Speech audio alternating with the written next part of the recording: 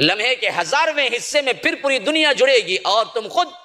तुम्हें क्या है समंदर में फेंक दिया जाए खा तुम्हें क्या है जानवर खा जाए खा तुम क्या है फजाओं हवाओं में उड़ जाओ या आकर तुम्हारे टुकड़े टुकड़े कर दिए जाए या जला दिए जाए रब कहता है कि मेरा एक हुक्म काफी है कि तुम सब के सब जहां जहां तुम्हारे टुकड़े पड़े हुए वो सब मिलके जमा होंगे खड़े होंगे भागते हुए आएंगे